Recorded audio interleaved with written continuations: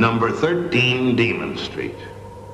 I am condemned to live here, to suffer on this earth eternally, as a punishment for my sin. It is said that no greater outrage was ever committed by any mortal. But should I find a crime more heinous, my terrible punishment will end.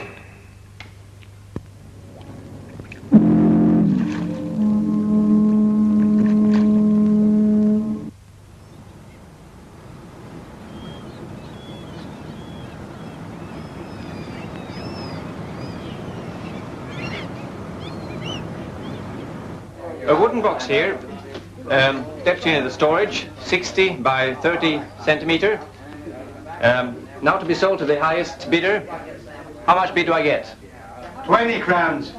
25 crowns. Why do you bid for that old cardboard box? Who knows what's in it? Maybe the treasures of the Arabian Nights. 30 crowns. 30 crowns, sold to this gentleman. A chest here, a wooden chest, antique, locked, contents unknown. How much do I get for that? A thousand crowns. Are you out of your mind? Did I hear a thousand? No! Yes. Do I hear uh, 1100? Sold to this gentleman.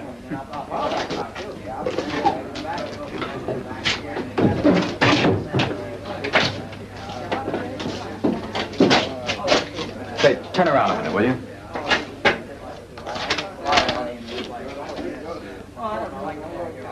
Thousand crowns and I'm running around in rags. Rag mink. That's a pretty expensive kind of an animal. Hey, you. Now tell me, how do I get this monster home? If this box contains a royal scepter, a purple cloak, and a crown, you'll get it, my pet. I'll crown you queen of nagging. I hate to nag, Paul. I hate myself for it.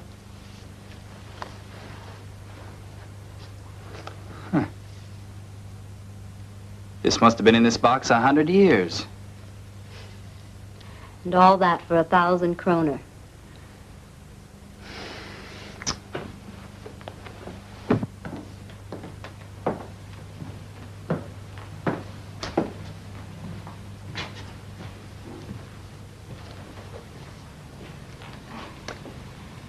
Just what you needed most. This is an antique. I don't think I made such a bad deal after all. Now you will be stargazing. Anything to get away from me. The stars aren't far enough away, my dear, when you're in one of these moods. Can I help it? You were in love with me once, Paul, and I still am with you.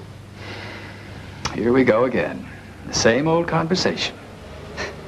As if my vanishing love for you made all the difference in the world.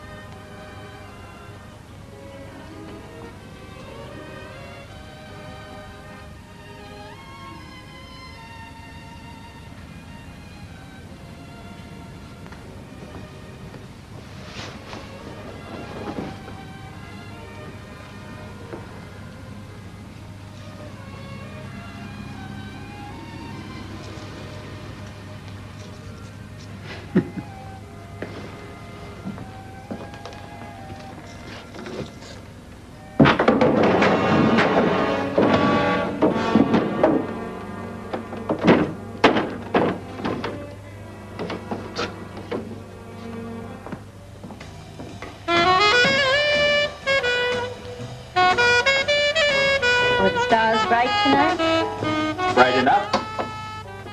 Reminds me of a poem. Starlight, star bright, grant me the wish I wish tonight. What do you wish tonight, my dear?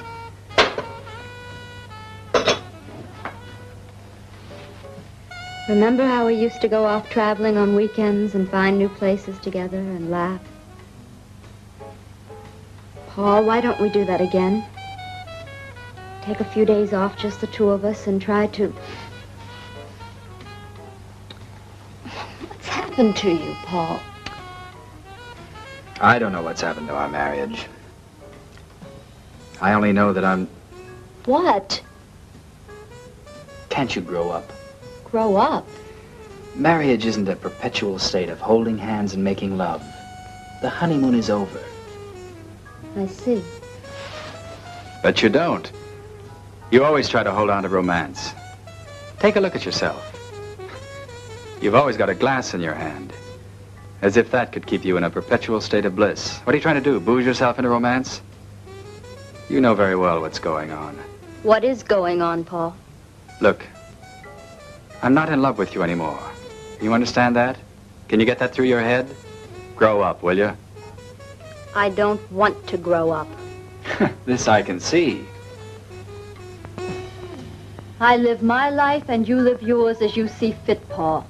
I don't want to let go of that happiness, that romance, as you call it. I told you it was finished. I sometimes wish you were dead. You do what? Yes, dead. If you were dead, you couldn't ruin me as you are trying to do. So this romance, as you call it, is more important than I am. Yes.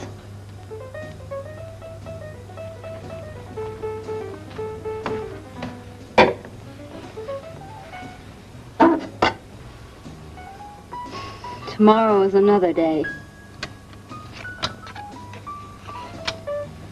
The 2nd of July. Another empty day. You're drunk. Go to bed.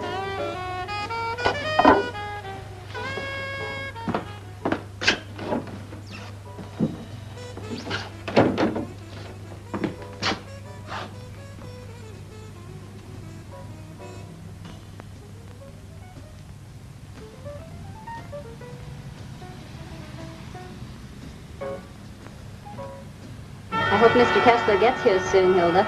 I hope so too. Oh, I'm starving to death. I'll get something good for him. Oh, good.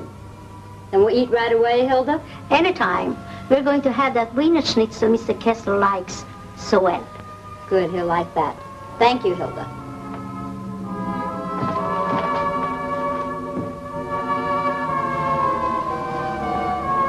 Get ready for dinner, dear. Hilda's having that Wiener Schnitzel you like so well.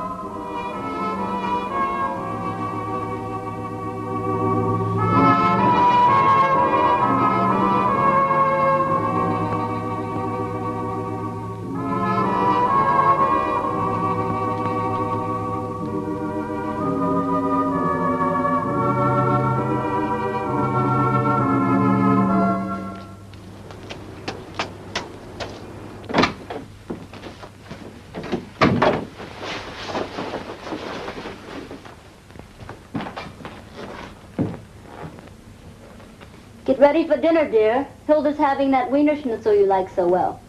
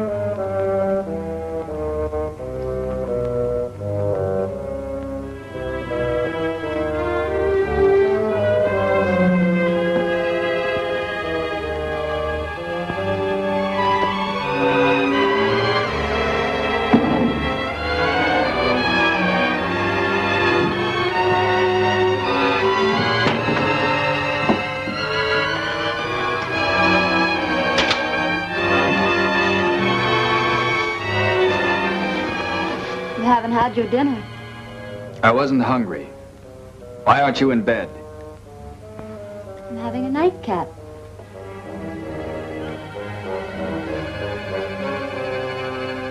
What's wrong, Paul?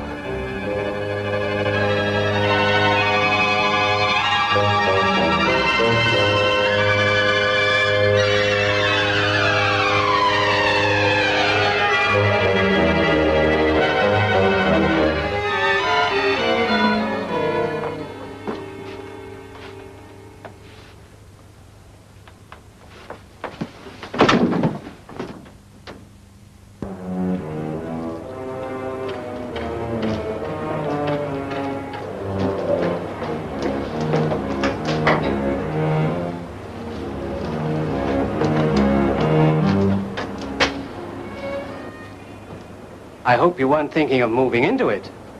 Why? It's a doomed house. Doomed? There have been three murders in it already. Murders? The last one happened only about a year ago. A man got killed. Who murdered him? His wife. I see. You know, I live in that house. You do? Ever since I moved in, I've had premonitions. As if someone wanted to kill me. Why don't you do something about it? What can I do? I had a friend once. It was during the war. He had such premonitions. He had the idea that a sergeant was going to send him to his death. What did he do? He shot the sergeant. Good night.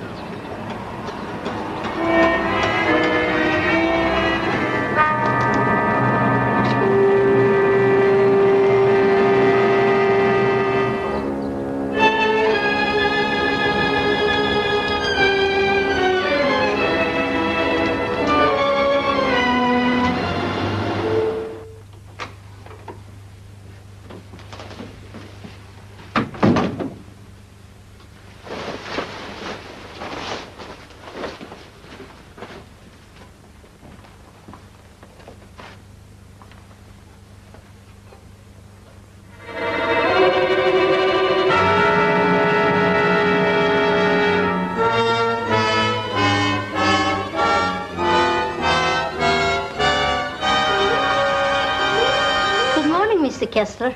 Good morning, Hilda. Is Mrs. Kessler up? No, she's still asleep. I see. I want some breakfast. I have it ready.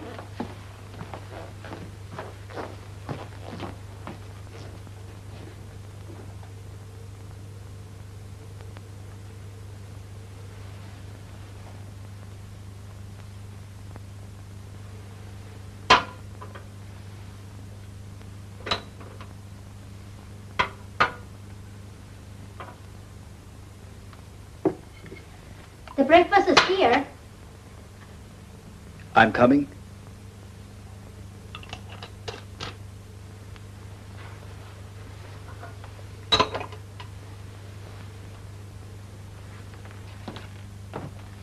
You want something else? No, thank you.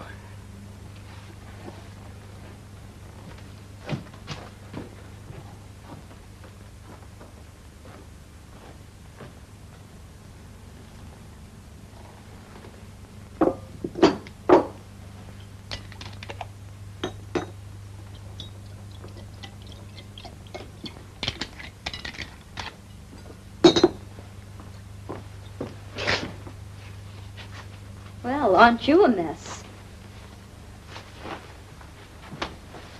Out all night, really living it up. Shut up. I'm sorry if I snapped at you, Paul, but I was so worried. Are you all right? Will you shut up? Paul, what's got into you? I know what you're thinking. I know what you're planning. Planning what? I tell you, I know. I know.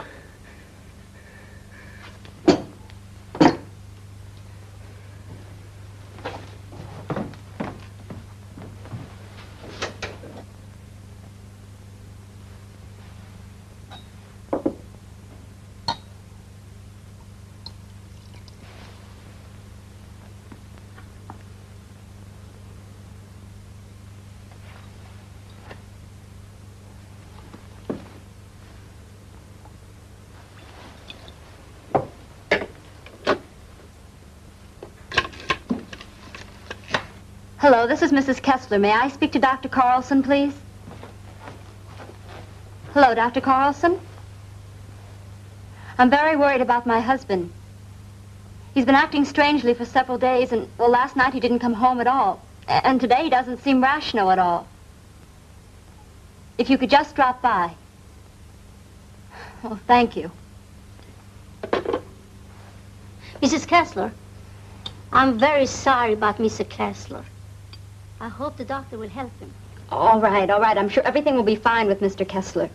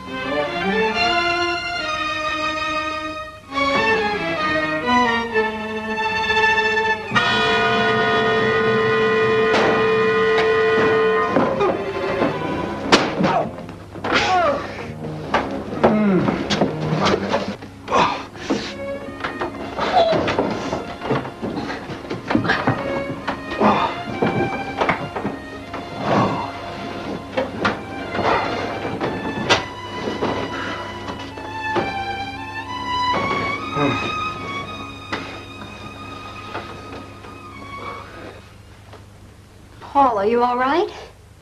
I don't think he's badly hurt. Let's get him to the sofa.